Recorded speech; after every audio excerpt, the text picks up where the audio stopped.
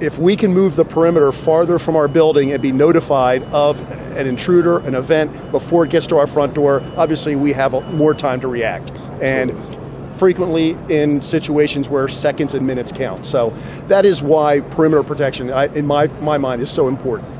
Um, so we want to talk a little bit about what is new, and from what I understand in our conversation, uh, we both know and understand that the security world, everything is transitioned and it continues to move to the network. Every device in a security, physical security solution is a device on the network. So obviously Southwest Microwave has joined that, that movement as well. So talk to us a little about the, the product that we have here uh, that is a little more innovative for Southwest Microwave. Perfect, thanks Nick. Yeah, this is our 336 PoE sensor. It's a K-band microwave. Of course, Southwest Microwave, we've been manufacturing microwave technology since 1971. So we're not new to this market, but as you said, we've taken it and adapted to the changing world, um, making IT or IP enabled devices. The difference here is this is a PoE device, but there are other microwaves that will allow you to inject power that way. Yep. This is a fully uh, uh, embedded browser in here. All your installation tools, your configuration is done directly through that Ethernet port, and of course powered there, fully TLS 1.2 compliant.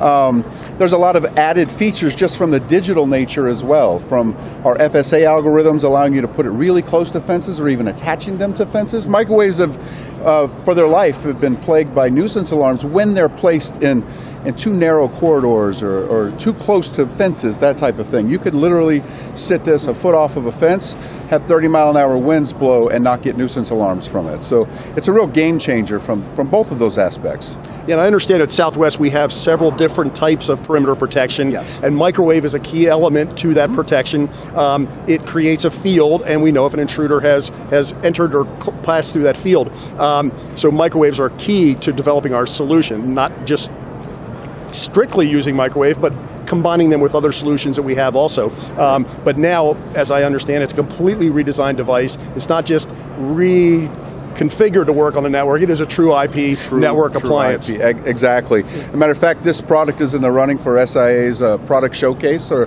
for product of the year. Um, so we're excited about that potential. We're excited about this product. Um, and, and, you know, we were talking a little bit before in, in the industry, the world has gone to IT personnel setting up a lot of these things.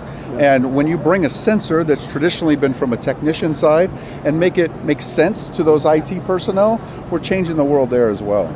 And if we can have a device, like you said, that is now even less prone for nuisance alarms, Absolutely. much more reliable, narrower beams, um, it's just a win-win.